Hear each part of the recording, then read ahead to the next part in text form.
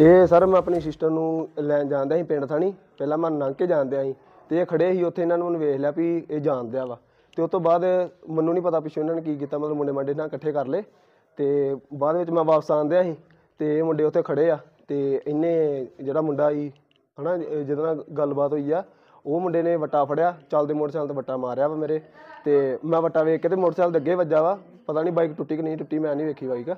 ਤੇ ਉਸ ਤੋਂ ਬਾਅਦ ਆਪਣਾ ਮੈਂ ਇਦਾਂ ਹੀ ਨੰਗਲ ਲੱਗਾ ਫਿਰ ਮੈਂ ਫੇਰ ਖਲੋ ਗਿਆ ਮੇਰੇ ਨਾਲ ਸਿਸਟਰ ਹੀ ਮੇਰੇ। ਮੈਂ ਮੈਨੂੰ ਇਹ ਮੈਂ ਕਿਹਾ ਕਿਤੇ ਮਗਰੋਂ ਕੋ ਮਾਰਨ ਆਏ ਦੇ ਤੇ ਮੈਂ ਖੜ ਗਿਆ ਉੱਥੇ। ਤੇ ਉਸ ਤੋਂ ਬਾਅਦ ਇਹਨਾਂ ਨੇ ਮਗਰੋਂ ਆ ਕੇ ਮੇਰੇ ਸਿਰ ਸੁਰ 'ਚ ਮਾਰਿਆ ਪਿਛੇ ਮਾਰੇ ਆ ਡੰਡੇ। ਤੇ ਹੋਰ ਵੀ ਤੇ ਉਸ ਤੋਂ ਬਾਅਦ ਇੱਥੇ ਮੁੰਡੇ ਨੇ ਉਹਨੇ ਕੋ ਮਾਰਿਆ ਸੂਰੀ ਵਰਗਾ ਸੀ ਉਹ ਮੁੰਡੇ ਨੇ ਮਾਰਿਆ ਉਹ ਜਿਹੜਾ ਦੂਜਾ ਮੁੰਡਾ ਵਾ। ਲੜਾਈ ਕਾਦੀ ਹੈ? ਤੇ ਲੜਾਈ ਤੇ ਮੈਨੂੰ ਵੀ ਨਹੀਂ ਪਤਾ ਲੜਾਈ ਤਾਂ ਐਕਚੁਅਲੀ ਸਰ ਮਤਲਬ ਛੋਟੇ ਬੱਚਿਆਂ ਦੀ ਆ। ਆਪਸ ਦੇ ਵਿੱਚ ਇਹਨਾਂ ਦੀ ਛੋਟਿਆਂ ਦੀ ਹੀ ਲੜਾਈ। ਤੇ ਇੱਕ ਦਿਨ ਵੀ ਮੈਨੂੰ ਇਹਨਾਂ ਨੇ ਛੋਟੇ ਦੇ ਨਾਲ ਮੈਨੂੰ ਘੇਰ ਲਿਆ ਸੀ।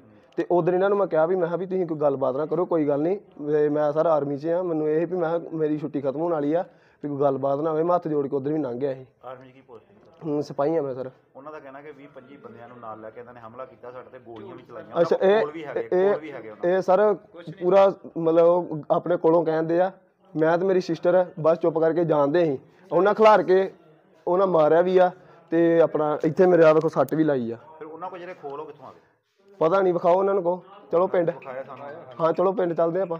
ਸਾਰੇ ਪਿੰਡ ਨੂੰ ਪਤਾ ਵਾ ਉੱਥੇ ਲੰਘਣ ਦੇ ਆ ਸਾਰੇ ਪਿੰਡ ਨੂੰ ਪਤਾ ਉੱਥੇ ਖਿਲਾਰ ਕੇ ਮੈਨੂੰ ਮਾਰਿਆ ਵਾ।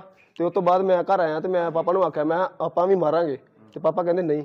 ਪਾਪਾ ਕਹਿੰਦੇ ਆਪਣਾ ਇੱਥੇ ਚਲੋ ਥਾਣੇ ਚਲੋ ਮੇਰੀ ਨੌਕਰੀ ਦਾ ਸਵਾਲ ਆ। ਸਾਡੀਆਂ ਬਾਹਾਂ ਦੇ ਕਾਦੇ ਸੱਟ ਇਹ ਪਤਾ ਨਹੀਂ ਉਹਨੇ ਕੋਈ ਛੁਰੀ ਜੀ ਮਾਰੀ ਉਹਨੇ ਮੁੰਡੇ ਨੇ। ਪਤਾ ਨਹੀਂ ਕੀ ਸੀ ਉਹਦੇ ਕੋਲ ਉਹਨੇ ਇਹ ਮਾਰੀ। ਹੀ? ਹਾਂਜੀ। ਤੁਸੀਂ ਇਕੱਲੇ ਹੀ? ਮੈਂ ਇਕੱਲਾ ਸੀ ਨਾ ਸਰ। ਮੈਂ ਇਕੱਲਾ ਸੀ ਤਾਂ ਐਸ ਕਰਕੇ। ਸਰ ਮੈਨੂੰ ਛੁੱਟੀ ਹੋਈ ਸੀ ਕਾਲਜ ਤੋਂ ਮੈਂ ਆਪਣੇ ਬ੍ਰਦਰ ਨੂੰ ਕਾਲ ਕਰੀ ਉਹ ਮੈਨੂੰ ਕਾਲ ਕਾਲਜ ਤੋਂ ਲੈਣ ਲੈਣ ਲਈ ਆਂਦਾ ਪਿਆ ਸੀ। ਤੇ ਇਹ ਆਪਾਂ ਆਂਦੇ ਪਏ ਸੀ ਰਾਸਤੇ ਵਿੱਚ ਇੱਕ ਮੁੰਡਾ ਸੀ ਛੋਟੇ ਜਿਹਾ ਹਾਈਟ ਵਾਲਾ ਉਹਨੇ ਫੜ ਕੇ ਤੇ ਰੋੜਾ ਕਾਫੀ ਟਾਈਮ ਦਾ ਖੜਾ ਸੀ ਸਾਨੂੰ ਨਹੀਂ ਸੀ ਪਤਾ। ਤੇ ਉਹਨੇ ਫੜ ਕੇ ਰੋੜਾ ਮੇਰੇ ਬ੍ਰਦਰ ਨੇ ਮਾਰਤਾ ਤੇ ਮੈਂ ਤੇ ਮੇਰਾ ਭਰਾ ਸੜਕ ਦੇ ਵਿੱਚ ਘਰ ਡਿੱਗ ਗਏ। ਕਾਫੀ ਜਾਣਿਆਂ ਨੇ ਦੇਖਿਆ। ਸੜਕ ਦੇ ਵਿੱਚ ਘਰ ਡਿੱਗ ਗਏ ਉਹ ਮੁੰਡੇ ਨੇ ਫੜ ਕੇ ਮੇਰੇ ਭਰਾ ਦੇ ਪਤਾ ਨਹੀਂ ਕੀ ਮਾਰਤਾ ਤੇ ਲਹੂ ਲੱਗਣ ਲੱਗ ਪਿਆ। ਤੇ ਮੈਂ ਰੋਂਦੀ ਰੋਂਦੀ ਆਪਣੇ ਘਰੇ ਆ ਕੇ ਪਾਪਾ ਨੂੰ ਦੱਸਿਆ। ਫਿਰ ਮੈਂ ਤੇ ਮੇਰੇ ਪਾਪਾ ਤੇ ਮੇਰਾ ਬ੍ਰਦਰ ਦਿਖਾ ਦਰਖਾਸਤ ਦੇਣ ਲਈ ਆਂਦੇ ਪਏ ਸੀ।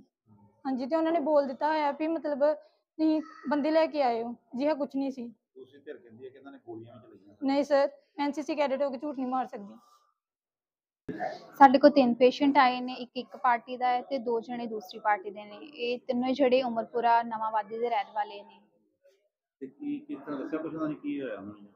ਇਹਨਾਂ ਨੇ ਸਾਨੂੰ ਦੱਸਿਆ ਕਿ ਕੋਈ ਲੜਾਈ ਹੋਈ ਸੀਗੀ ਕਿ ਜਿਹੜੀ ਇਹਨਾਂ ਦੀ ਬੇਟੀ ਹੈ ਕਿਤੋਂ ਆ ਰਹੀ ਸੀਗੀ ਤੇ ਉਸ ਟਾਈਮ ਲੜਾਈ ਹੋਈ ਹੈ। ਤੇ ਉਸ ਟਾਈਮ ਉਸ ਦੌਰਾਨ ਹੀ ਸੱਟਾਂ ਲੱਗੀਆਂ ਨੇ। ਲੱਗਦਾ ਜਿਹੜੀਆਂ ਸੱਟਾਂ ਲੱਗੀਆਂ ਕੋਈ ਗੋਲੀ ਗਾਲੀ ਵੀ ਲੱਗੀ ਹੋਈ ਹੈ? ਨਹੀਂ ਗੋਲੀ ਦੀ ਵਾਲੀ ਕੋਈ ਸੱਟ ਨਹੀਂ ਹੈਗੀ। ਤੁਹਾਡੇ ਵੱਲੋਂ ਕੀ ਕਾਰਵਾਈ ਸਾਡੇ ਵੱਲੋਂ ਇਹਨਾਂ ਦੀ ਐਮਐਲਆਰ ਰਿਪੋਰਟ ਜਿਹੜੀ ਹੈ ਉਹ ਤਿਆਰ ਕਰਕੇ ਪੁਲਿਸ ਨੂੰ ਅੱਗੇ ਭੇਜੀ ਜਾ ਰਹੀ ਹੈ। ਗੱਲ ਭਾਜੀ ਇਹ ਹੋਈ ਹੈ ਕਿ ਪਹਿਲਾਂ ਵੀ ਇਹ ਮੁੰਡੇ ਸਾਡੇ ਭਤੀਜਿਆਂ ਨੂੰ ਮਾਰ ਕੁੱਟ ਕੇ ਗਏ ਆ ਅਸੀਂ ਪਹਿਲਾਂ ਵੀ ਪਰਚਾ ਦਿੱਤਾ ਸੀ ਪਹਿਲਾਂ ਵੀ ਕਿਸੇ ਨੇ ਕੋਈ ਕਾਰਵਾਈ ਨਹੀਂ ਕੀਤੀ। ਤੇ ਉਸ ਤੋਂ ਬਾਅਦ ਫਿਰ ਦੋ ਚਾਰ ਦਿਨ ਪਹਿਲਾਂ ਇਹਨਾਂ ਦਾ ਮੁੰਡਾ ਫੌਜੀ ਆ ਗੁਰਜੰਟ ਤੇ ਇਹ ਉਦੋਂ ਵੀ ਮੇਰੇ ਭਤੀਜੇ ਨੂੰ ਚਪੇੜਾ ਚਪੂੜਾ ਮਾਰ ਕੇ ਅਸੀਂ ਫੇਰ ਪਰਚਾ ਦਿੱਤਾ ਸਾਡੀ ਫੇਰ ਨਹੀਂ ਸੁਣਵਾਈ ਹੋਈ ਉਹਨਾਂ ਪੈਸੇ ਪੂਸੇ ਭਰਤੇ ਆ ਤੇ ਸਾਡੀ ਕੋਈ ਸੁਣਵਾਈ ਨਹੀਂ ਹੁੰਦੀ ਕੋਈ ਸਾਡੀ ਕਿਸੇ ਨਾਲ ਗੱਲਬਾਤ ਨਹੀਂ ਹੈਗੀ ਕਿਸੇ ਐਮਐਲਏ ਨਾਲ ਕਿਸੇ ਮੰਤਰੀ ਨਾਲ ਅਸੀਂ ਗਰੀਬ ਲੋਕ ਆ ਦਿਹਾੜੀ ਧੱਪਾ ਕਰਕੇ ਖਾਣ ਵਾਲੇ ਆ।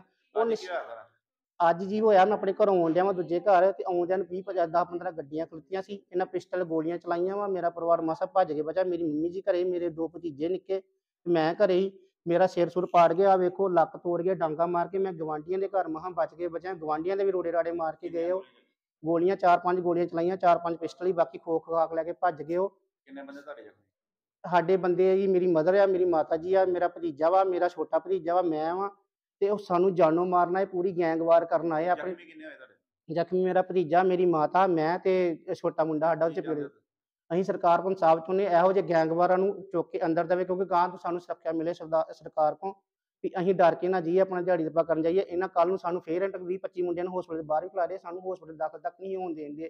ਅਸੀਂ ਤਾਂ ਪਤਾ ਨਹੀਂ ਕਿਤੇ ਬਚ ਬੁਚ ਕੇ ਲੋਕ ਲਗਾਉਂਦੇ ਹਸਪੀਟਲ ਆਏ ਆ ਜੀ, ਇਹਨਾਂ ਹਸਪੀਟਲ ਆ ਕੇ ਕੱਟ ਕੁੱਟ ਦੇ ਕੇ ਆਪਣੇ ਮੁੰਡਿਆਂ ਨੂੰ ਫੇਰ ਆਪਣੇ ਦਾਖਲ ਹੋ ਗਿਆ। ਇਹਨਾਂ ਦਾ ਮੁੰਡਾ ਫੌਜੀ ਆ, ਸਰਕਾਰੀ, ਉਹ ਮੁੰਡਿਆਂ ਨੂੰ ਪੈਸੇ ਪੂਹੇ ਦਿੰਦਾ, ਖਰਚਾ ਵਰਚਾ ਦਿੰਦਾ ਵਾ, ਸਾਡੇ ਪਰਿਵਾਰ ਦੇ ਗੁੱਟ ਮੁੱਟ ਕਰਨ ਦੇ। ਉਹ ਇਸ ਟਾਈਮ ਛੁੱਟੀ ਆਇਆ, ਉਹਨੇ ਆਪਣੇ ਕੱਟ ਲਾ ਕੇ ਦਾਖਲ ਹੋ ਗਿਆ। ਸਰਕਾਰ ਇਹ ਕਹਿੰਦੀ ਆ ਵੀ ਫੌਜੀ ਨੂੰ ਵੀ ਤੁਸੀਂ ਲੋਕਾਂ ਗਰੀਬਾਂ ਤੇ ਜਾ ਕੇ ਤੁਸੀਂ ਹਮਲੇ ਕਰੋ ਤੇ ਅਸੀਂ ਤੁਹਾਨੂੰ ਪੈਸੇ ਦਿੰਦੇ ਆ ਸਰ ਇਦਾਂ ਦੀ ਗੱਲ ਹੁੰਦੀ ਕੱਲ ਨਾ ਬੜੇ ਦਿਨਾਂ ਸਾਡਾ ਵੈਰ ਨਾਲ ਵੀ ਕੱਲ ਉਹਨੇ ਮੇਰੇ ਮੱਥੇ ਤੇ ਪਿਸਤੌਲ ਰੱਖੀ। ਆਂਦਾ ਵੀ ਜੇ ਤੁਸੀਂ ਨਾ ਸੁਧਰੇ ਨਾ ਕਹਿੰਦਾ ਘਰ ਛੱਡ ਕੇ ਚਲ ਜਾਂਦਾ। ਇੱਕ ਦਿਨ ਆ ਗਏ ਨਾ ਆਂਦਾ ਆ ਕੇ ਗੋਲੀਆਂ ਚਲਾਉਣੀਆਂ। ਉਹ ਸਰ ਸੱਚੀ ਆ ਕੇ ਸਰ ਚਲਾ ਗਏ।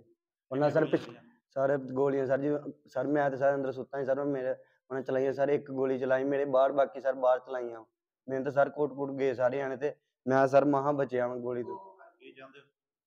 ਸਰ ਮੈਂ ਚਾਹੁੰਦਾ ਇਨਸਾਫ ਮਿਲੇ। ਮੈਨੂੰ ਉਹ ਸਰ ਮੈਨੂੰ ਕਹਿੰਦਾ ਸੀ ਮੈਂ ਫੌਜੀ ਆ ਨਾ ਮੈਂ ਤੇ ਪੈਸੇ ਚਾਰ ਚੁਰ ਕੇ ਫਿਰ ਵੀ ਛੋਟੇ ਆ ਨਾ।